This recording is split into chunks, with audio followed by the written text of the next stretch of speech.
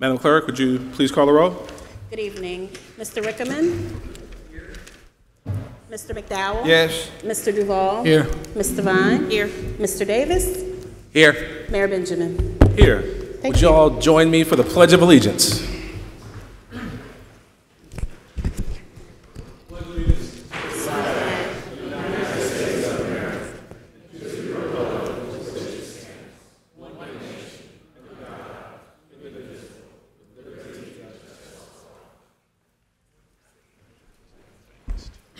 McDowell, would you bless us with a word, please? Yes, sir. Thank you, sir. If you would, would you bow your heads with me, please?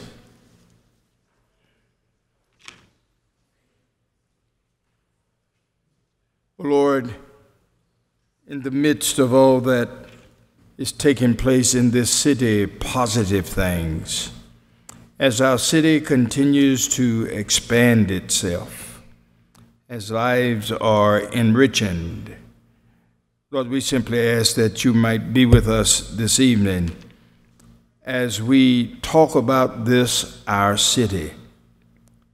Touch us individually and collectively.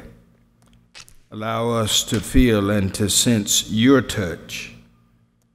Be with each person that took time out of their schedules to come and be a part of this gathering this evening. Bless us and keep us. We ask it in your name. Amen. Amen. Thank you, Councilman McDowell. All right, uh, do we have a motion to uh, adopt the agenda um, with these amendments, uh, withdrawing item uh, 38? Uh, We're going to conduct a public hearing for item 46 with defer approval, uh, resolution number 2018-68, uh, amend items, item 40, 59, uh, and also defer consideration of items 64 through 67, all appointments to boards and commissions.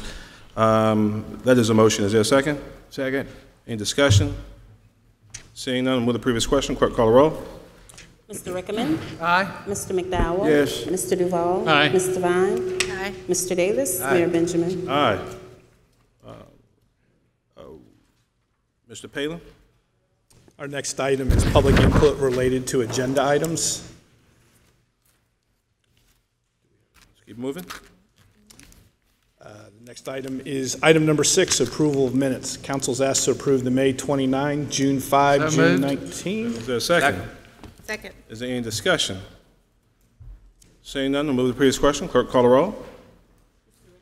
Aye. Mr. McDowell? Yes. Mr. Duvall? Aye. Mr. Devine? Aye. Mr. Davis? Mayor Benjamin? Aye. Mr. The Palin? next item is consent agenda. Council is asked to approve the consent agenda, items 7 through 37. Are there any items council would like uh, remove for discussion? Mr. Rickenmann? Uh, Item, uh, hold on, let me find the number here. I w- I think Clint is prepared to talk about it. It I'm not sure I can hear you uh, registering, Daniel. where'd it go? Make sure you're talking to the mic. Oh, item 28. 28? Okay. Um, Mr. Shealy, you want to address uh, item 28? Is that the only one, Daniel? Yeah. Okay. It- it- It's our continuing contract, Sure. but it's a $5 million contract, and, and I Maintenance I consent think it's decree? good to, for everybody to understand what we're doing and where the money's being spent. Yes, sir. Thank you for the, for the question, the opportunity to provide some clarification. We're entering our seventh year of our Clean Water 2020 program in our relationship with CDM Smith, who's our program manager. Uh, We've had, we've made collectively significant efforts and investment in our sanitary sewer uh, collection system and in our treatment plant. And I feel like it's really, really starting to bear fruit, and we've got some numbers. Joey's going to share just a couple of highlights with you that are going to paint a picture of, of a utility that's moving from consent decree compliance to a best-in-class utility. And so um, he's going to share just a few highlights, but we'd like to come back in October in work session and in, in open session in the evening and share a little more detail and some graphics that, that really demonstrate the progress that we've made and, and the fruit that we're really starting to see right now. So, High and tight, Joey. Yes, sir. Thank y'all for the opportunity for us to come uh, together and, and talk about this, this important project. And the opportunity to come next month and really give some real detail of what we're, what we're doing within the program. But with this program, um, we are on schedule with all our deliverables with the consent decree. And as a result of what Clint said, uh, we're, we're really becoming the best in class in what we do. Um, we're, we're actually being looked on upon by our peers on how we operate uh, for others to learn, which is which is a good uh, result of what we're doing. But we're becoming a more proactive utility. Uh, there are other uh, contracts on the agenda tonight that's evidence of that, uh, looking at our sewer system investigation, as some programs within this program, our CSAP and our uh, infrastructure rehabilitation program. We're evaluating our, our system and we're making improvements to our system, which is becoming, as a result, we're becoming a more proactive system. Um, the mobile technology that we've implemented. Uh, we're doing Cityworks in the field now on the wastewater side. And as a result of the um, successes from that, we're going to be starting this year to roll it out on the water side. So we're, uh, another uh, way that we're becoming more proactive, but also providing a better customer service to our to our customers. Uh, getting getting um, get, from getting the call to immediately being in the field, immediately getting results in the field, and all that being reported back to our GIS which on the wastewater side, we've tremendously improved our, our mapping, our, how we, how we keep asset inventory of our system. As an improved GIS, um, our asset management has greatly improved as, as a result of this program. Our Cityworks. Um, we're managing over 70 projects within the Clean Water 2020 program alone. So it's, it's really, we're really improving on how we do things. And we're doing it on the wastewater side, but but the past two years, uh, we began to do it on the water side as well, taking some of the su successes that we've had on the Clean Water 2020 program on the wastewater side. Now we're rolling it over to the water side. So we're making improvements to on last year and this year to our, our GIS on the water side. Uh, and I talked about the mobile technology that we're rolling out on the water side now that we've already seen the success on the wastewater side. So all that, we're improving basically we're improving really on how we operate, making us, as Clint said, a best-in-class utility.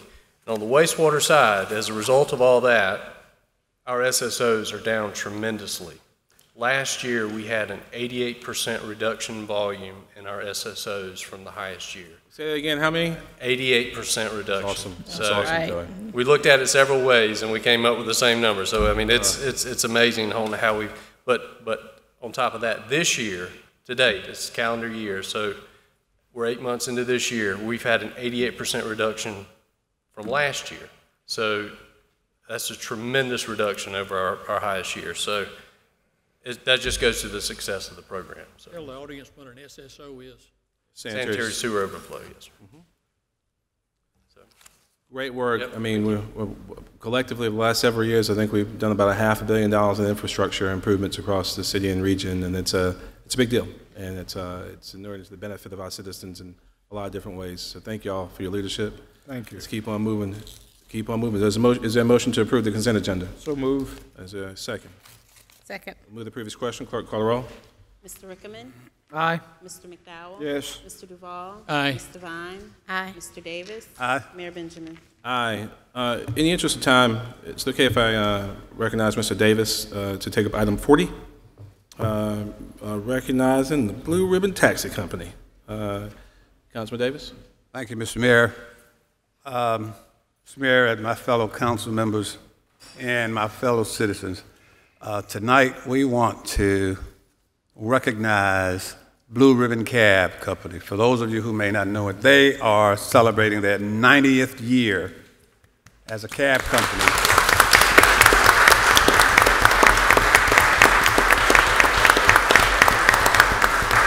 In, in this city, I, I believe the first at the time, the only minority operated cab company in the capital city. Um, and if I'm not mistaken, if you're not the, the only one, very few left in the, in the country. And so, in so recognizing them, uh, I'd also like to point out that uh, Mr. Aaron Jenkins, the uncle, grandfather of our illustrious chief Aubrey Jenkins, that was one of the pioneers in the company back then. Uh, I'd like to share with you Um, Also, let me recognize um, Mr. Sam McEwen, who was instrumental in helping to sort of put this together. We all know Mr. McEwen. Whereas the original Blue Ribbon Cab celebrates 90 years as an established taxi company. Blue Ribbon was originally located on the 100 1000th block of Washington Street in downtown Columbia, South Carolina. And whereas Blue Ribbon operated throughout the civil rights movement, beginning with the driving protesters to the sit-ins at Walworth, Woolworth, and S.H. Kress department stores. And whereas Aaron Jenkins was named the first president of Blue Ribbon following, followed by many other male presidents. And in 2001, Barbara Dotson was named the very first female president of Blue Ribbon and is still serving as president after nearly 20 years. And whereas Blue Ribbon has now, ha, has, now has over 125 drivers and independent contractors who are contributing to the ec- economic well-being of the community and the region. Now, therefore, I, Steve K. Benjamin, Mayor of the City of Columbia, do hereby proclaim, along with my fellow members of Which Columbia means I was City, supposed to be doing this. We, he took it from me. Just so, just so you know. do hereby proclaim Tuesday, August 14th, 2018, as Take your time. Blue Ribbon Taxi Company Day. 90th anniversary. How about the?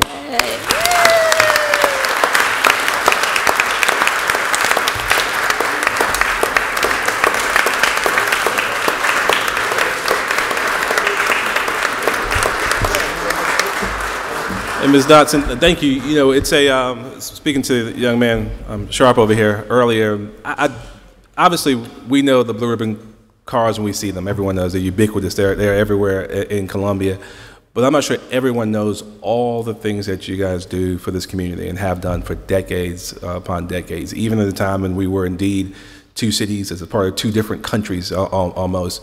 Um, you guys have been a, a bridge over troubled waters for so many families, and we're, we're thankful for you and your service. And Really. we thank you. And I'd just like to introduce a few of the shareholders that came with me tonight. The oldest shareholder I have here is 96 years old. How about that? The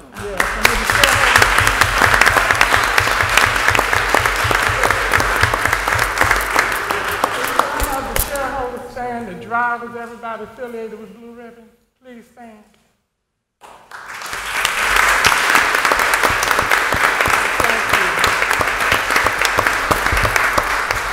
you. It took all of us to get this done, and I thank you and I thank them.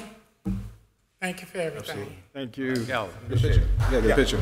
Picture. You gotta get a picture. I'm not sure how we're gonna do it. We can come back there, we can line up, maybe it might be best to line up, a- line up right over here. Uh, You gotta move some folks around. yeah We'll figure it out, Ms. Dodson. We're gonna figure it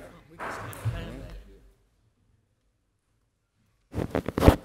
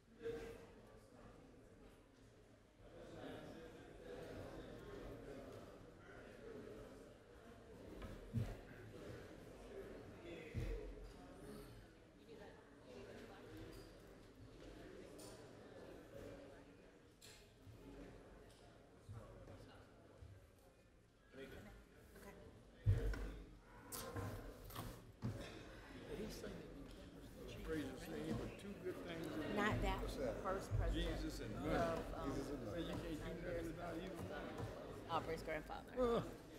Hey, he ain't lying. I- Okay, Mr. Palin? Got a point there, man. Should we go to 39 then? We lose the mayor? Do that 'cause you got Yeah, he's, he's got a flight. Yeah. Doo-doo. All right, we'll take over.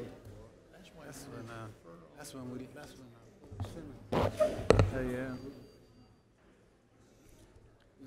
You want me to start? Yep, yes, sir. Go ahead. Next item on the agenda is item 39, recognition of the July 2018 Employee of the Month, presented by Ms. Jacqueline Richburg, Interim Director of Columbia Richland 911 Communications.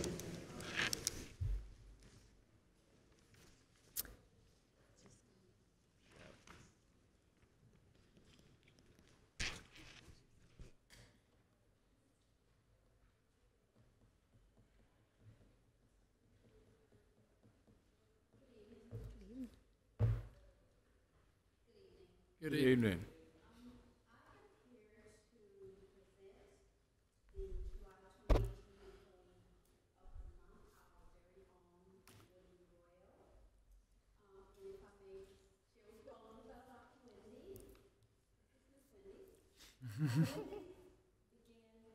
With the, Colum- with the City of Columbia in 2008, and she has risen through the ranks of our department from a call taker to a telecommunicator to her current position, which is shift supervisor. Wendy is not her title, yet it's easy to see how she has progressed to the status that she now holds and continue to evolve. Wendy is notorious for volunteering to help out to secure coverage for the center. She is extremely a hard worker. She never allows the weight of her daily task affects her demeanor. What's unique about Wendy is she is typically always arrives at the beginning of the shift early, and when she greets the other employees, she greets them by name, extending to them good morning. Wendy's performance is unmatched, and it is easy to see how she is exceptional. She always goes above and beyond her daily duties while maintaining her assigned channel and consistently answers calls and processes a high number of calls with a degree of accuracy. Wendy takes pride in her work, and she is the epitome of Columbia Richland 911 communications core values courtesy, respect, efficiency, professionalism, and sense of urgency. So it is for these reasons it is our sincere honor to present Wendy Royal as our selection for the July 2018 City of Columbia Employee of the Month Award.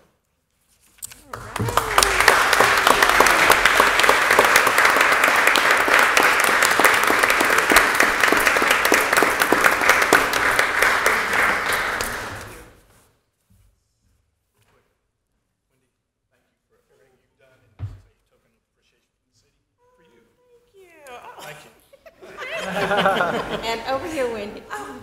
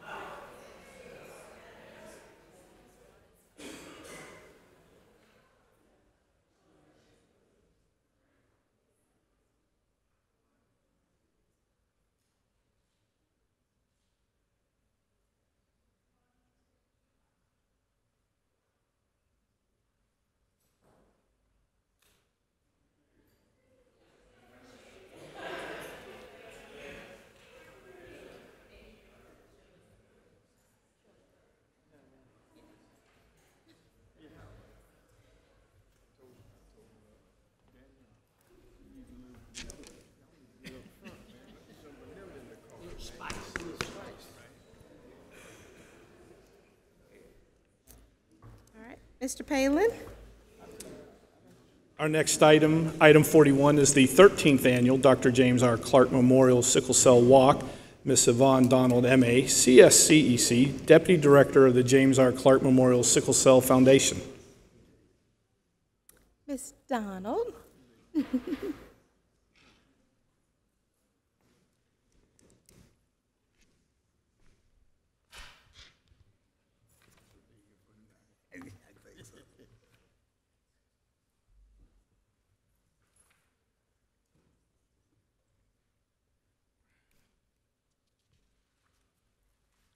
evening.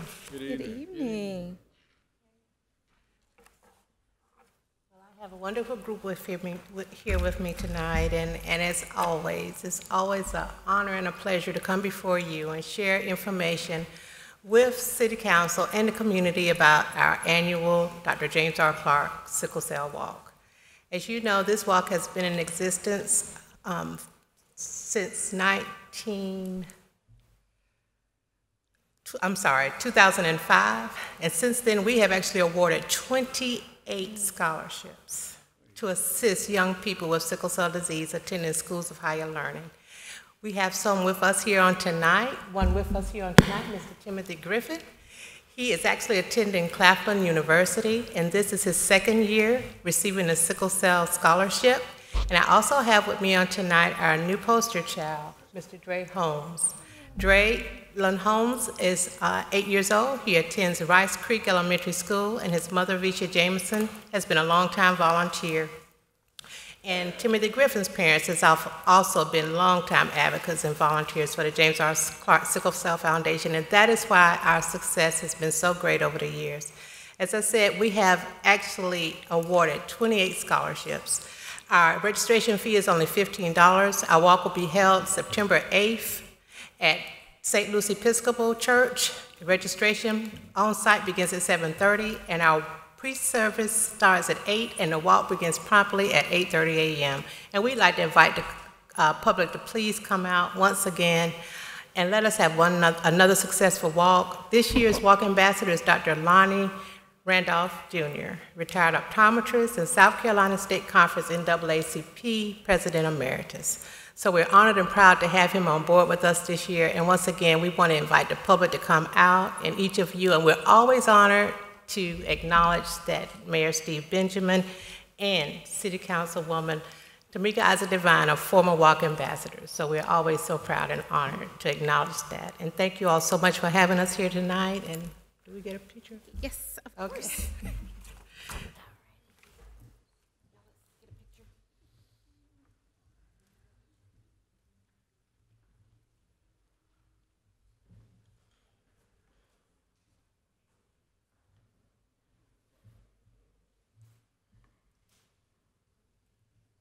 No, we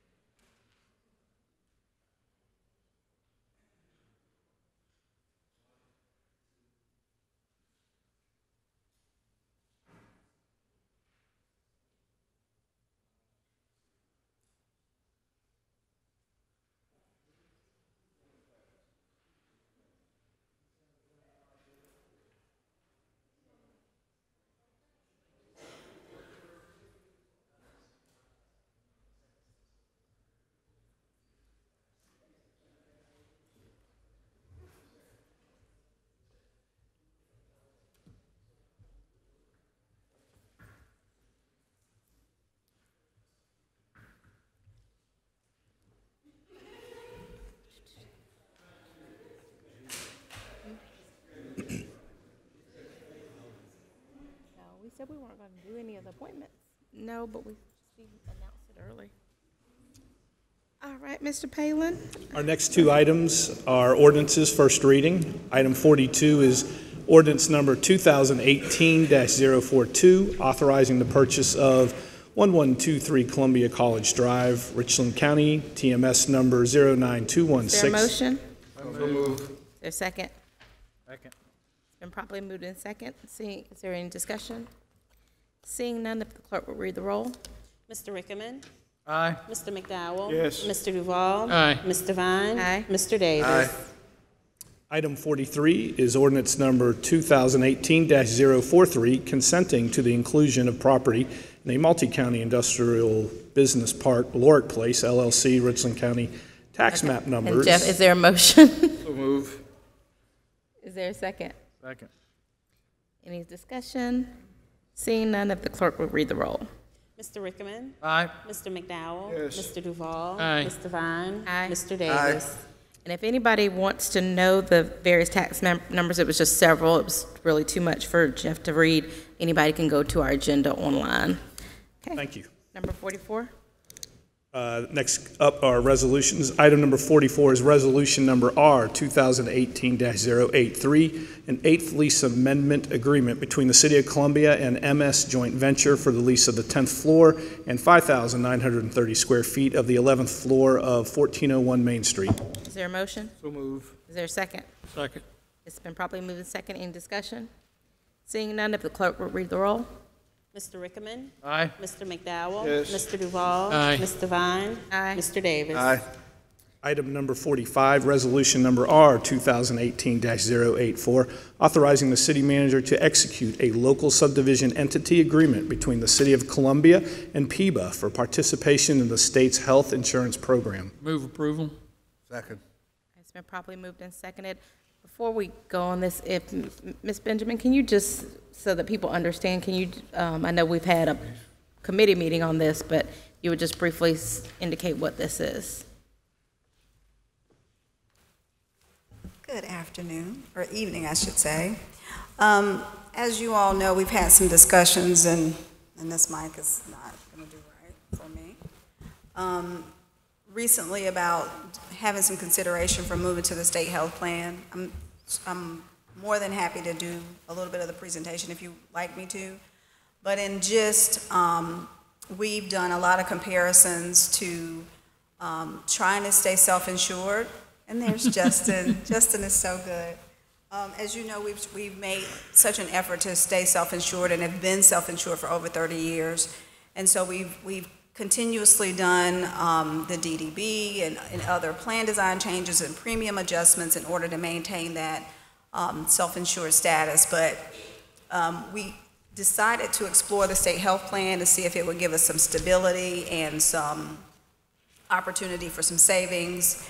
And so after exploring that, we found that that would be a viable option for us. And so that is what is on the agenda right now, is for us to move from being a self-insured, um, health insurance, having our own self-insured plan to moving to the state health insurance plan, um, which will be um, under PEBA.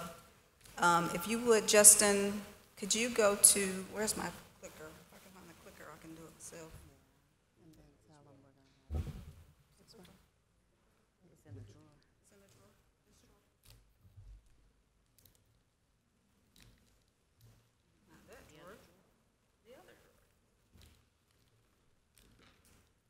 Um, As a part of um, going to the state health plan, these will be the plans that we'll, we'll be offering to full-time employees. Health, dental, dental plus, state vision plan, basic life, optional life, dependent life, basic long-term disability, supplemental long-term disability, money plus and vision care. We'll also be offering health, dental, dental plus and state vision plan in, to our um, retirees. Um, One of the big things we considered, as you all know, we were looking at possibly um, ending coverage for some of our retiree groups and maybe even ending coverage for our retirees that, our new hires as they retired. And so this provided us with a viable option. So once we get your vote today, we will go through the process of completing our application and we will then um, be looking at um, enrollment for the year, plan year, January 2019. Um, We will be doing a, a big communication, education um, push for the plan so that everybody understands the plan. Um, Just quickly, Justin, can you bring up um, that comparison um, spreadsheet that I've done? Can you click down for me on medical? That tab that says medical? Great. So um, just as a little synopsis, this is kind of a, a snapshot or comparison of those two plans together. As you all know, we currently have three plans, the base plan, core, and the buy-up, and then the state plan will have two plans, the health um, savings and the standard. So there are some gains um, as far as some of the um, reductions in the deductibles. The premiums for some groups are going to be lower. Um, Also, some of the the co-pays for some of the um, physician's visits will also be lower.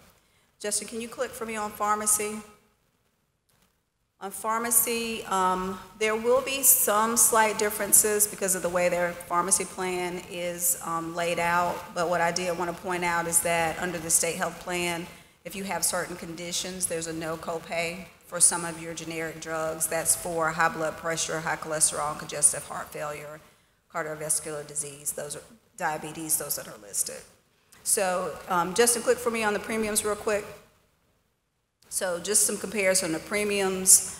Um, Some of the premiums are going to be lower for some of our staff, um, some of our employees, and those are our current premiums. Um, For retirees, what we have suggested is that the premiums for retirees are kept, for the pre-65 retirees are kept at the same rate as our active employees. So they'll see some, some similar premiums. But all in all, I think this is um, a- definitely an effort to help us, like I said before, stabilize our plan, um, see some cost savings, and provide a benefit for all of our populations when we were in, in the um, situation where we were going to have to decide to maybe not cover some of our populations and even not cover some of our spouses and, and make some other more drastic um, plan changes. Of course, it's not perfect, because nothing is, so there'll be some gains and losses from moving from being a self-insured group to going to the state health plan. We'll have less flexibility, um, less ability to do certain things we did when we were on our own, but it will provide us with some opportunities to, to go to a bigger plan. So that's kind of a general synopsis. Anybody have any specific questions they'd like to ask? Um, we tried to lay out some of the, you know, pros and cons last meeting, um, just to kind of make sure people were aware. There will be some additional costs for, for transitioning for some of those, those claims that we have not, um, paid out yet. So we'll have to do some residuals after the year takes place. We will be in a four-year contract with the state health plan once we agree to participate. So we won't be able to make that change until we're four years in. So, like for people to, to realize that.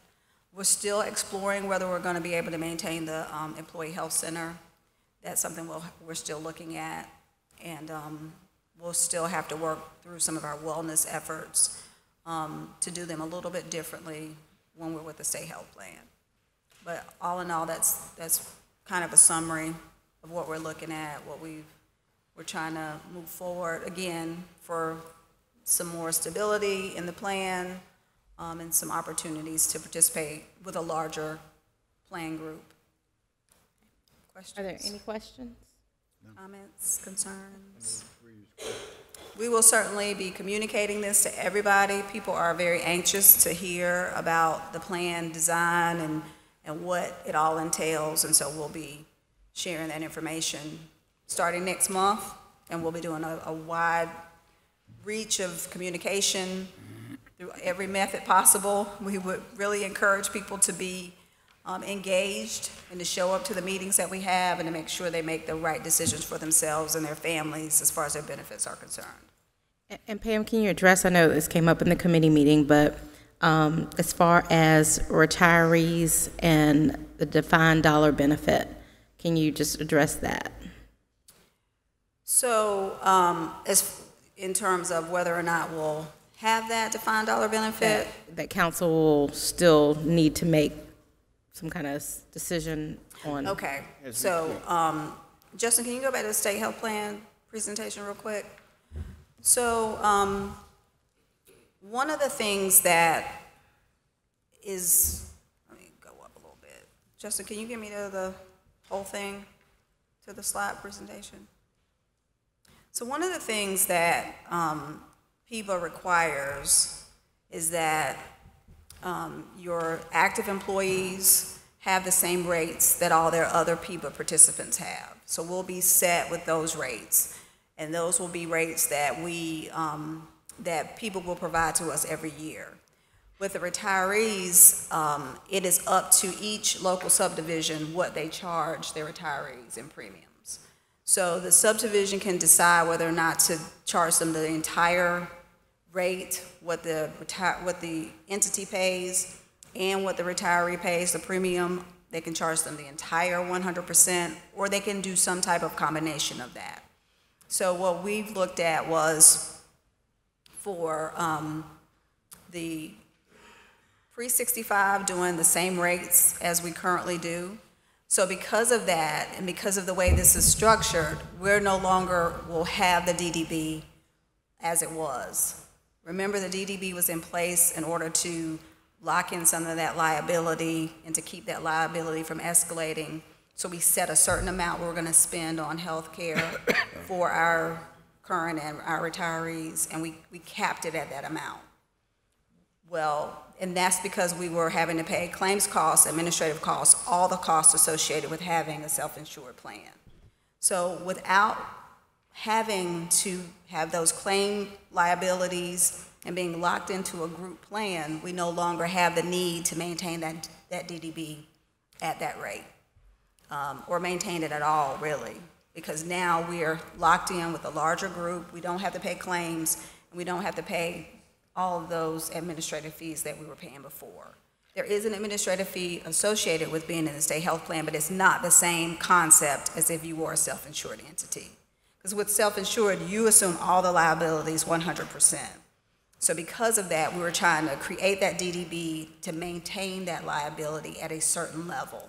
And that's why we did the um, DDB for the pre-65 and the post-65. So now that we don't have that, that liability issue in quite the same way, I know Jeff's giving me the eye because we still have some liability issue, but it's not structured in, in the same way. We don't have to continue to, to, to maintain that DDB Right, in that way. But we are, so we are, we are, or it is being proposed that we, um, our pre-65 retirees pay the same premium as our actives. But the act, the premiums are actually set by PEBA, not by us. Um, Right. Right, So what, so- what happens is that we pay an amount for each person we, we insure, and that amount is set by PEBA. Um, so with PEBA's active employees, they say you gotta charge them, for example, here are the active employee rates. You have to charge ninety-seven sixty-eight for that person to participate in the standard plan employee only. We don't have a choice in that matter. But the total cost for that is, is exceeding that ninety-seven dollars. It's the cost we pay along with that ninety-seven dollars is the total cost. With the retirees, you can pass on that total cost, the cost that we pay as an employer to insure that retiree, plus the cost of the premium. So because we're a local sub, we have that option to do that.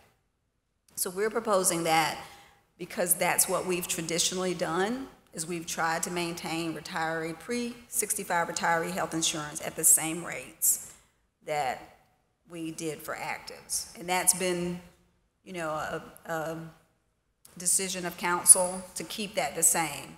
As you'll remember, in several years, we've wanted to increase the premiums in order for retirees to, um, to um, pay the amount of difference that it was costing us to insure them for their claims, um, and charge that to them in terms of increased premiums. So we have traditionally not done that, traditionally not maintained the DDB, and so what this does is this, this provides us with a little bit more stability in the cost to provide coverage to, to that population. So the retirees will, will pay what actives do. So if the premiums go up, their premiums will go up, will go up as well because they're paying the same as our actives. Right, so, so that's a good point, Mr. Vine. What I want to point out as well is, this is the proposal for 2019. We will need to look at 2020, when 2019 gets here, and make a decision, do we want to maintain that? And again, charge the retirees for the rate that, that the actives are paying. We have that decision to make every single year. It's up to us, as a local subdivision, what we want to charge our retirees for having the insurance. We give them access to it, but we have the ability to charge them whatever we choose to charge them for that premium. So there are, for example, there are some entities that charge, they pass on all the costs to the retirees. So they have to pay the employer's portion and the employee's portion. Um, and some of them do a, a different kind of cost share. So this is what we're proposing for this year. What we will see is after we're in the plan for a year, they will look at our claims activity, and there's a potential that they will charge us uh, experience rate. If they charge us that experience rate, we may have to pay a higher amount as an employer to provide that coverage. So if that amount goes up considerably, um, then we potentially could share those costs with the retiree population, if, if that's a decision that council wants to make. Because again, like you said before, we're stuck, I don't want to say stuck, but we are required to pay, to charge premiums for the active employees as PEBA sets them. But we have the flexibility to charge the retirees the total amount of the premium if we want to do that, if we want to set up that cost share. So that, that will be something that we have to decide every year. So we'll know what our experience rate will be. We'll know what PEBA is going to charge us to participate in their plan. And then we'll have to make the decision of how we want to do that cost share with our retirees, if, if that, when that comes up every year. So that'll be a decision that has to be made. Um, we're quite generous in providing retirees with the same premium, because we were looking at some significant premiums, or like I said, not having any coverage whatsoever for some of our retiree groups. So this is, this is again, continuing our tradition of being pretty generous employers. And so, um, but, you know, depending on what that looks like, what, what the financial impact is, we may have to adjust that philosophy as time goes on, as we continue on the plan. Thank you. All right. Questions, Mr. comments? Oh, I hope I um, didn't I'm sorry. confuse Did you anybody. have to- Move the previous question. Okay. Um, Mr., um, I mean, would the clerk read the roll? Mr. Rickenmann, Aye. Mr. McDowell. Yes. Mr. Duvall. Aye. Ms. Devine, Aye. Mr. Davis. Aye. Thank you, Ms. Benjamin. The We next- have, um, just so everyone knows, our public hearing, we cannot start before 7 PM. So if we could um, jump, um, well, we can do 46, because that's not part of the 7 o'clock. It is. No, it's not. 46 been deferred. Item 46 is a, also a public hearing. The resolution itself, the approval for that, will be deferred until the next meeting on September 4th. But we're gonna But still we hold- still can hold the public hearing tonight. Okay. So we're going to open the public hearing on 46, Resolution R 2018-068. Why don't Is we there do anybody that? here to speak for or against? We just might as well have the public hearing. Seeing none, I will close the public hearing on that. Um, But we're not, we're deferring a vote. Is that correct? That's correct. Okay. All right, so can we skip to 59? Uh, Yes. Uh, Item 59, council is asked to approve the installation of 16 speed humps in the Melrose Heights neighborhood as requested by the Public Works Department. Just 17, that's it? 16. It's been It took out one. modified to 16. It- it- You broke our budget. Yeah. And Mr. Easley is here, and he informed us that the, the neighborhood met last night and, and confirmed that's what, what precipitated the change from the 17 to 16. Um, and so Mr. Anderson and Mr. um, Brewer have the amendments. So is there a motion? Move approval. Is there a For 16. For 16. 16. Is there a second? Second. It's been probably moved and second. Any discussion? Seeing none, if the clerk will read the roll. Mr. Rickenmann, Aye. Mr. McDowell. Yes. Mr. Duvall. Aye. Ms. Devine. Aye. Mr. Davis. Number I- 60. Let me, You're welcome. You're welcome. 60, Mr. Palin. Item 60, council is asked to approve the installation of two speed humps on Belfield Lane as That's all I requested by asked the for was Public two. Works Department. Is there a motion? So moved. Second. It's been probably moved and second. Any discussion? Seeing none, if the clerk would read the roll. Mr. Rickenmann, Aye. Mr. McDowell. Yes. Mr. Duvall. Aye. Ms. Devine. Aye. Mr. Davis. Item 61, council's asked to approve no-through trucks restrictions on Pickens Street between Rosewood Drive and Superior Street as requested by the Public Works Department. Is there a motion? Move approval. Is there a second? Is there a second? Second. It's been properly moved and second. Any discussion? Seeing none, if the clerk would read the roll. Mr. Rickenmann. Aye. Mr. McDowell. Yes. Mr. Duvall. Aye. Ms. Devine. Aye. Mr. Davis. Jeff, let me ask a question. Um, I don't know if it's for Robert or whomever. Um, I need to get some, some clarity on speed bumps in areas that has, uh, communities that has written a letter and uh, has not gotten any word referencing that particular area. Which areas are you talking? Uh, Bonneville Road. Barneville Road is Next one. item 62. Did I miss it? It's the next one. Turn the page, Reverend, turn the page. Number 62. Number Move approval. I lost the page number. Thank you. So, Mr. Reverend McDowell, would you like to move approval for 62? So moved. Is there a second? Second. It's been properly moved and second. Oh, since we didn't say, this is council asked to approve the installation of three speed humps on Barnable Road. Um, So it's been properly moved and Thank second. Any Robert. discussion? Seeing none, if the clerk would read the roll. Mr. Rickenmann. Aye. Mr. McDowell. Aye. Mr. Duvall. Aye. Ms. Devine. Aye. Mr. Davis. Aye. Thank you. Item 63, council is asked to approve the installation of two speed humps on Catawba Street and no through trucks restrictions as requested by the Public Works Department. Is there a motion? Move approval. Is there a second? Second. It's been properly moved and second. Any discussion? Seeing none, if the clerk would read the roll. Mr. Rickenmann. Aye. Mr. McDowell. Yes. Mr. Duvall. Aye. Ms. Devine. Aye. Mr. Davis. Alrighty. And we have five minutes. Um, You want to, since the appointments are deferred, consideration of matters during work session, is there anything? Yeah, I was going to say, that's perfect. Thank you, Mr. Palin. Are there any um, matters that were discussed during the work session that need to be discussed? No, ma'am. None? Okay. Any city council committee reports? Mr. Rickenmann, do you want to give a report? No. Your status? Okay. Any other committees need to do a report? No. report? Okay, seeing none, let's, um, we've got, we do have, um, a few folks who have signed up, and I just want to make sure. Martha was here, to- and you were here in support of speed humps, right? Nothing else? Okay. You, do you want to?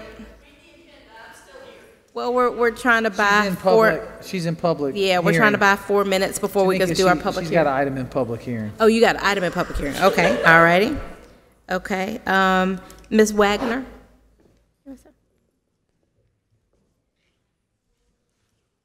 Thank you for being here. And although we do have the sign up, if you would state your name and address, and then just so you know, um, you get three minutes to speak, um, and we will not interrupt you.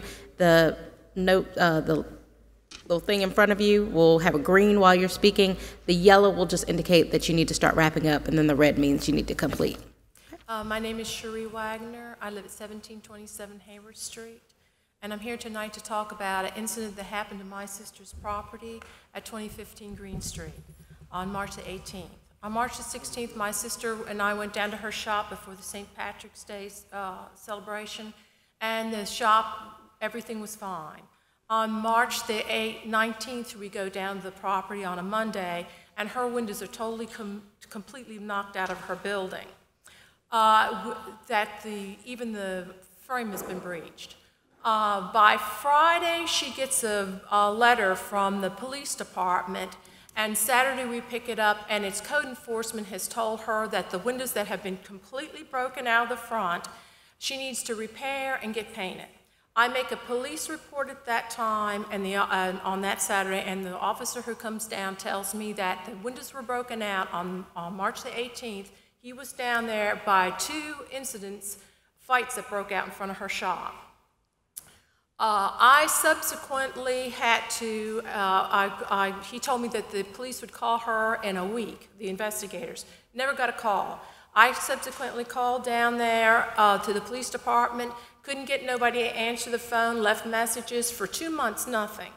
So I finally got the windows put uh, up in uh, two months and got it cleared by the uh, officer, code enforcement. He says, turn it into your insurance company. I said, no, I want the camera footage of the incident that happened, and I want the perpetrator who did that uh, arrested and prosecuted, and him pay for it. I called down to Officer Whittle, and he finally answers his phone, and he says, you call down Five Points and talk to Avery. I said, I'm not calling Five Points, they never do their job. So he said, I'll call you back. This is on 521. I get a phone call on Monday morning, not from Officer Whittle, but from uh, Penny Jackson with the Claims Department from the City of Columbia's Insurance. She starts asking me a whole bunch of questions about it. I don't know, and I don't even know why I'm talking to you. And she finally says, Well, I have to tell you, says, the police broke out your window. Really? The police? I have jumped through hoops with the, with the code enforcement, and the police broke out my her windows and didn't tell her. I'm a citizen of Columbia, and I have a reasonable expectations of expecting the police to call her uh, and tell her what to come down and fix your window because it could have hurt somebody. I have never gotten a call from the police department. Uh, said they've com- they've committed a crime. I said they've this is a felony vandalism that they turned her into code enforcement, got her to pay for what they did, and they refused to answer her. Well, I'm down here today because I've even tried calling the, the um, police chief who was down there that night on film because there was a shooting there, and he was told about the incident and said he knew about it, and he won't answer his phone. So I'm asking you, what are you all going to do about this when I'm still at the point where I can't get the camera footage, I can't get the police to answer their phone or tell me? I've even been down to internal affairs. And all this has happened, and I still can't get an answer for this, and I can't even believe this. Okay, and um, Ms. Wagner, we have taken what you've said. Um, The chief is, is he still here? Okay, the chief is not here. Um, Mr. Palin will make sure that um, Chief Holbrook gives you a call um, and that legal, I'm not sure about the footage. There might be some other things with that, um, so we'll have legal take a look at Well, it. I would just And- even like they told me somebody was supposed to have been arrested. I think as a crime victim, she should, she's entitled to know that. Okay, Ms. Wagner, we'll make sure we've got your contact information, Mr. Palin. Let's make sure someone gets in touch with her within the week. Okay? All right, Miss- thank you. Excuse me, t- Mr. Devine, what's the address again, ma'am? The address of the property was 2015 Green Street. Green Street, okay. Thank you. Thank you, ma'am. All righty, and we are at 7:01, so I believe, Ms. Hampton, we can get started.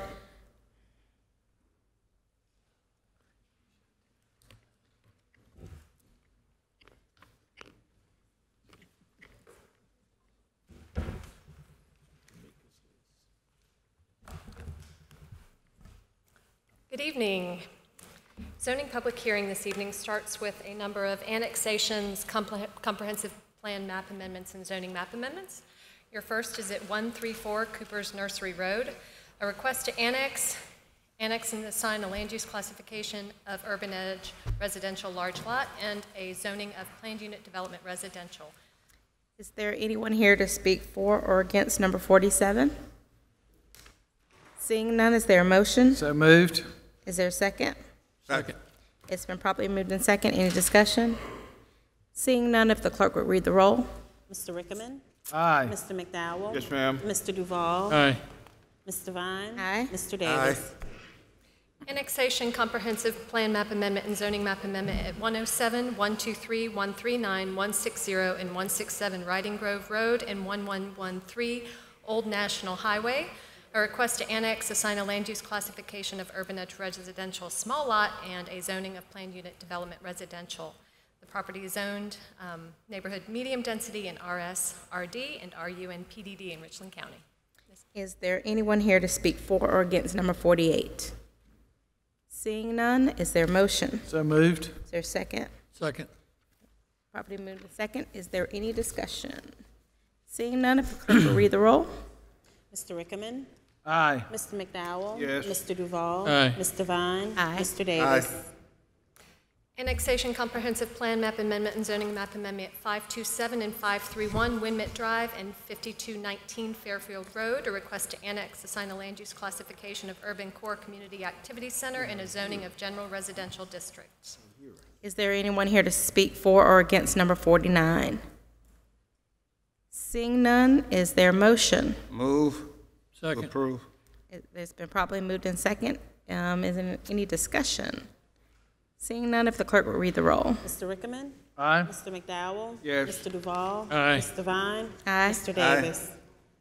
Annexation Comprehensive Plan Map Amendment and Zoning Map Amendment at 2313 Apple Valley Road, a request to annex, assign a land use classification of Urban Edge Residential Large Lot and a zoning of general residential. Is there anyone here to speak for or against number 50? Seeing none, is there a motion? Move to approve. It's been properly moved in second. Any discussion? Seeing none, if the clerk will read the roll. Mr. Rickenmann. Aye. Mr. McDowell. Yes. Mr. Duvall. Aye. Mr. Vine. Aye. Mayor Benjamin. Aye. I'm sorry, Mr. Davis. Annexation Comprehensive Plan Map Amendment and Zoning Map Amendment at 2019 Joe Frazier Court, a request to annex, assign a land use classification of Urban Edge Residential Large Lot and a zoning classification of Single Family Residential, that's RS2. Is there anyone here to speak for or against this? Seeing none, is there a motion? So move. Is there a second? Second. Any discussion? Seeing none, if the clerk will read the roll. Mr. Rickenmann. Aye. Mr. McDowell. Yes. Mr. Duvall. Aye. Mr. Vine. Aye. Mr. Davis. Aye. Annexation Comprehensive Plan Map Amendment and Zoning Map Amendment amendment at 125 Peyton Road, a request to annex, assign a land use classification of IND Industrial and a zoning of light industrial, that's M1. Anyone here to speak for or against? Seeing none, is there a motion? Move So moved. Approval. Second. What, it's been probably moved to second. Any discussion? Seeing none, if the clerk will read the roll. Mr. Rickenmann. Aye. Mr. McDowell. Yes. Mr. Duvall. Aye. Mr. Vine. Aye. Mr. Davis. Aye. If it pleases council, I'd suggest taking 53 and 54 together, which are confirming the comprehensive plan map amendment at, and the zoning map amendment at 2716 Shop Road. This would be a land use amendment of the IND industrial and a zoning classification of M1, which is light industrial, for 53 and 54. Is there anyone here to speak for or against 53 and 54? Seeing none, is there a motion? So moved. It's been properly, well, one of you moved and one of you second. It's been properly moved in second. Any discussion? Seeing none, if the clerk would read the roll. Mr. Rickenmann. Aye. Mr. McDowell. Yes. Mr. Duvall. Aye. Mr. Vine. Aye. Mr. Davis. Aye. Moving into a rezoning, which is a zoning map amendment at 939 West Confederate Avenue. This is a request to rezone the parcel from a planned unit development residential to RS3, which is single-family residential. Is there anyone here to speak for or against number 55? Seeing none, is there a motion? Move to approve. There's- Second. There's properly moved in second. Any discussion? Seeing none, if the clerk will read the roll. Mr. Rickenmann. Aye. Mr. McDowell. Yes. Mr. Duvall. Aye. Mr. Vine. Aye. Mr. Davis. Aye. Your next two items are zoning text and map amendments in order to uh, designate both of these structures as landmarks. We'll take them one at a time. The first is at 1633 Main Street and 1635 Main Street. It's a request to rezone to add the DP to create, to designate the structure as a Group 3 landmark. Is there, is there anyone here to speak for or against? No, she's right there. Okay. It's, it's been properly moved by um, Councilman McDowell. Is there a second? Second. It's been properly moved in second. Any discussion? Seeing none, if the clerk will read the roll. Mr. Rickenmann. Aye. Mr. McDowell. Yes. Mr. Duvall. Aye. Mr. Vine. Aye. Mr. Davis. Aye. A zoning map and text amendment at 1637 Main Street, a request to rezone the parcel to add the DP to designate the structure as a Group 3 landmark. Is there anyone here to speak for or against? Seeing none, is there a motion? So move. Second. probably moved in second. Is there any discussion? Seeing none, if the clerk will read the roll. Mr. Rickenmann. Aye. Mr. McDowell. Yes. Mr. Duvall. Aye. Mr. Vine. Aye. Mr. Aye. Davis. I'm going to request um, direction from council on number 58. This is over 27 groupings of properties um, where we are amending the, the, the future land use, the comprehensive plan. These are future land use amendments, and Ms. DeForth is here to, to assist and answer any questions. Um, These have been a result of staff looking ahead at the, at the rewrite of the comprehensive plan, as well as um, just doing work um, with other mapping issues and identifying um, inconsistencies in our land use. So this is not the zoning, this is the land use that you adopted a couple years ago. Some of them, quite frankly, were just a result of um, maybe not moving the line where it needed to be, um, that, uh, that it, it didn't align with what actually was on the ground. Um, we are happy to go through each of these if you wish, um, and I can, I'll be reading for a little while. I can read each of these as I don't well. think So it's, um, I don't think that's necessary. Is but anyone we'll take here? direction from you. Is anyone here to speak for or against or to ask any questions on 58? Seeing none, is there a motion? Move approval. Is there a Second. second? It's been properly moved and second. Any discussion? Seeing none, if the clerk will read the roll. Could we add that you give each of one of us a copy of that, just so that if some, something comes up, because I've had trouble trying to pull it up two or three times, and if I could Absolutely, get a like hard a copy. printed copy, Yes, we'd be ma'am. happy to do so. Aye. Mr. McDowell? Yes. Mr. Duvall? Aye. Mr. Vine? Aye. Mr. Davis? And I believe that concludes your zoning public hearing. Thank you. Thank you, Ms. Hampton. And I'm going to go back to this list real quick. So we've heard from Ms. Wagner. Um, uh, Mr. Easley, did you, nope, he's gone. So he was here on the zoning. And Dina Phillips, I think she was here on the same thing, Melrose. Okay, she's gone as well. Okay. Um, We've got Annie Murray.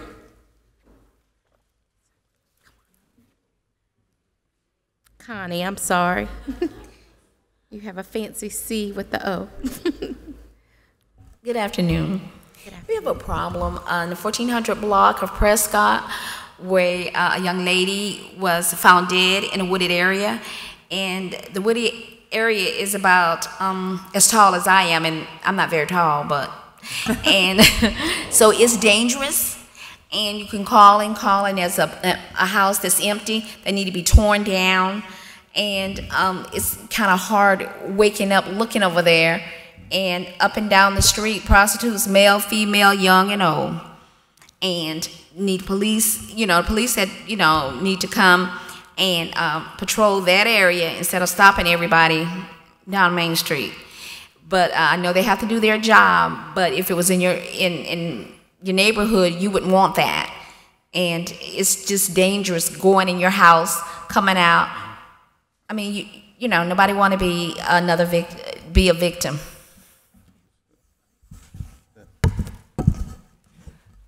My house is right across. Can you, can you state your name for the record? I know Ms. Murray signed in, but you didn't, so, or, or are you the next one? I'm Mar- Marguerite Okay, so you did. Marguerite Grant, Miss Grant, yes, Yes. And I live in the house right across the street where uh, Brenda Jackson was murdered uh, last week. My house is 1413 Prescott Road, right across the street from that area. In fact, this year, it's uh, the second person been killed. One was right in front of my door last year, one right on the other side of my house. There's not a lot of light out there, and I call them the ladies of the night. They're up and down Prescott Road and Coon Street all night, and they go back on that property, and they go behind the buildings, and uh, so it's a safety issue, especially for me, because I live right there on that corner by myself. And um, the city don't keep that area clean, trees hanging over and bushes everywhere, so anybody can hide. In fact, there was a man living right across the street in one of the buildings. He used to come across my fence and cook on my porch. And he was using my property when I was at work. So I get a lot of that because of where I live, and there's just no safety measurements around there. There's not a lot of light around there. It's dark. And uh, I have to face that every day. And right about now, I'm pretty scared. Our safety is, I feel like my life is in danger now. Thank, thank you, Ms. Grant. Uh, Mr. Davis, you wanted to respond? Um, we talked, um, I, um, since we've talked, um, I've talked with, um, the police department and the two things definitely that they're gonna start moving on. One is to have that old building there demolished. It's, it's been vacant for some times. And also, you know, we talked about who, about ownership, whether or not the church owns it or the previous owners, but that, that, that is a priority, and I agree with you on the cutback. Um, And we'll also look at um, increasing the lighting, um, well, I guess, on, on Coon as well as Prescott, because, you know, that's, some of that foot traffic is coming from uh, Main. So um, I, we, we hear you, and uh, I'm just telling you to hold us accountable for some immediate changes. But, but they they are aware of it, and they, they are working on a definite plan for it. Thank, thank you, Ms. Grant. I was going to say, Mr. Palin, can we make sure um, Mr. Anderson or somebody gets, would do a lighting assessment? We can definitely do that sooner Right. rather than later, Ms. Grant. The property, as Mr. Davis is talking about, we would have to figure out ownership. We, the city can't go and, on someone else's property and cut it. Um, So we need to look at finding out who the owner is and, and making sure that they get that cut, um, and then more patrols. So we, we can, you'll see some differences, but we can respond to you, um, on the status of that. Okay, if I may say one other thing, it would help if they would come along and cut down the grass, cut the grass like on the sidewalks where the, uh, mm-hmm. trees is not hanging over where you can hide. Mm-hmm. Some of that, if they can cut back some of that too, that would help because they won't be able to hide there. Mm-hmm. So that would help some too. And that's the same kind of thing we have, we just have to look at that. I know a lot of folks say, oh, it's a sidewalk, the city should do it. It's really not, it, it, there's a lot of things, factors that factor in that. So I'm not sure if it would be the city who could do it, or we have to make sure holding the, the adjacent property owners accountable, but we'll look into that for you. Okay. Thank you both for coming, and we appreciate And, uh, you I- bringing this to I uh, us. applaud you for, both of you for standing up on this. That is everyone that signed up. Is there anything else? All right, so is there a motion to adjourn? So moved. Second.